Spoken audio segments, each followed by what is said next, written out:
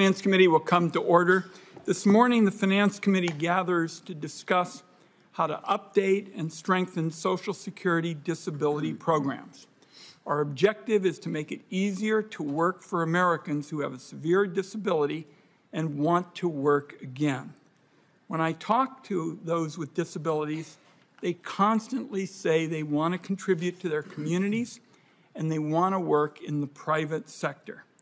But the laws that are on the books today when it comes to work and Social Security are a bureaucratic, suffocating, mindless straitjacket that makes it almost impossible to work while maintaining eligibility for benefits. so, I'm especially pleased to be able to say that here on the Finance Committee, this has been a bipartisan cause and I'd like to recognize Senators Brown, Casey, and Cassidy in particular, those three, for a very, very strong bipartisan effort to cut through all of this Byzantine red tape.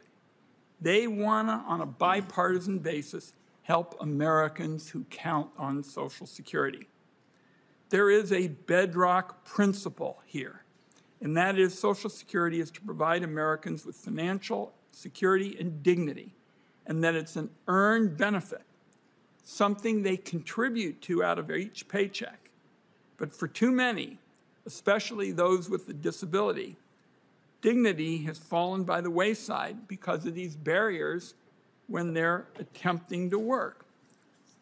The vast majority of those who receive disability benefits have worked at least 10 years, 10 long years, paying into Social Security with each paycheck. Becoming severely disabled due to illness or accident is a devastating blow. Fortunately, Social Security is there to help those Americans get back on their feet. It often takes months or even years to demonstrate to Social Security that their disability prevents them from performing a regular job.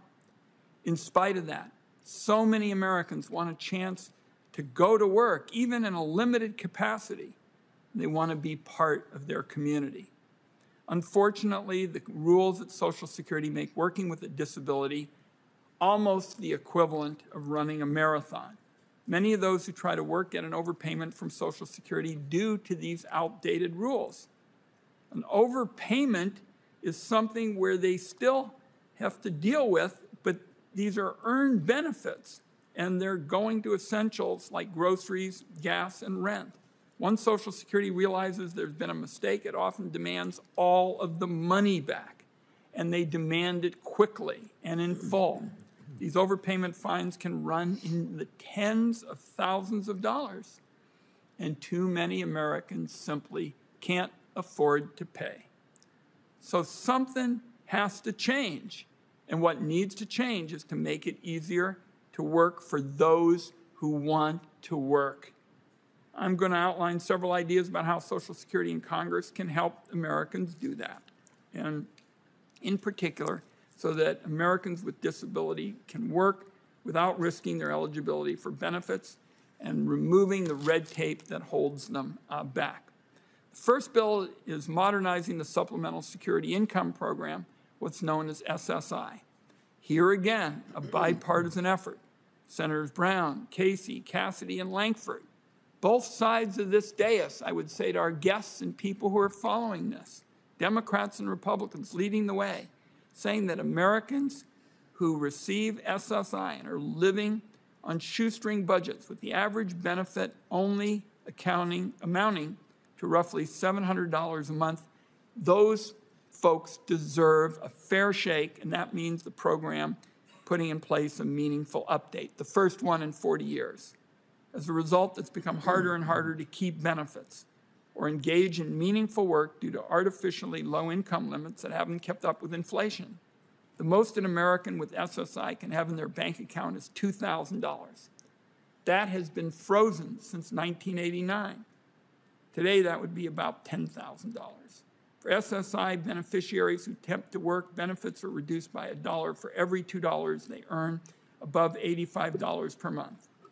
That amounts to a 50% income tax rate. That's higher than the highest rate in the tax code. Put your arms around that. Highest rate in the tax code. So it's time to bring these rules, heaven forbid, into the 21st century.